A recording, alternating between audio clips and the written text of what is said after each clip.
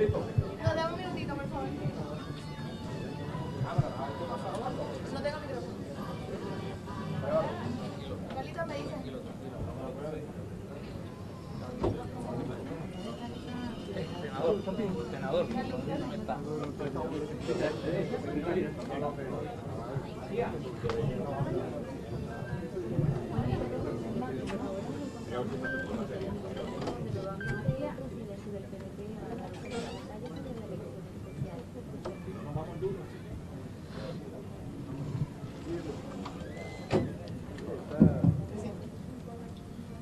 Y buenas tardes, teniendo ya el 36% de las unidades reportadas, que son 44 de 123, que equivalen al prácticamente al 36%, el candidato Villafañe eh, se mantiene al frente junto a la segunda posición de Héctor Martínez, Villafañe con 4.319, Héctor Martínez con 3.070 votos. En la tercera posición, Gregorio Matías con 2.381.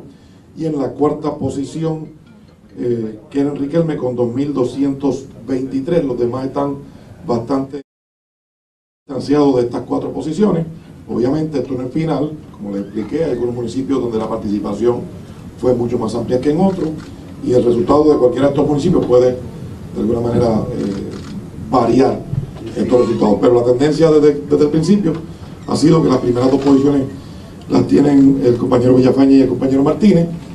Eh, tercero y cuarto, Matías y Riquelme han sido bastante consistentes y eso es lo que tenemos hasta ahora con el 36% de las unidades, que son 44 de 123. En el caso de Barranquita, como les expliqué, ya pude hablar con Elliot Colón, eh, junto al secretario y el presidente de la Cámara.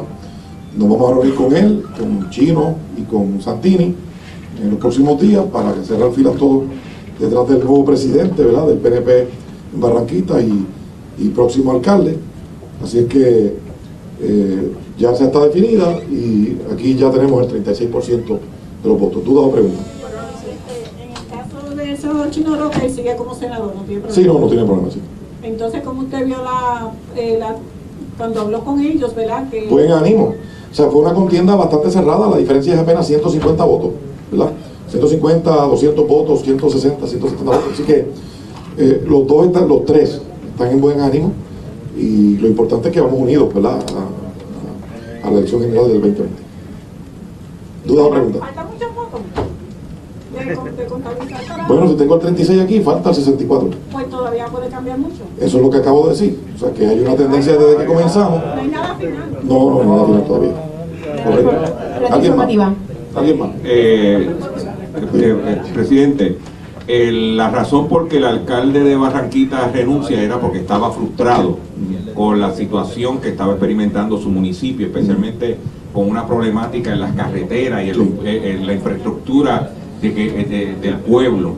Ahora que entra este nuevo alcalde, que lo- se pudiera ayudar o respaldar para que tratar de ayudar, de que la gente de Barranquita pueda resolver el problema de las carreteras, que es craso en este momento, porque el que se- eh, Paco se va por eso, porque no aguantaba ya la presión que tenía de, de los ciudadanos de Barranquita. ¿Qué pudiera decir al respecto? El alcalde estaba planificando de todas maneras su retiro, lo había anticipado desde el principio de cuatro años, que no iba a volver a aspirar. Así que la razón por la cual el compañero Paco López, que es un titán y un super alcalde se va es porque él tenía planificado irse. Eh, No se trata de ninguna otra cosa.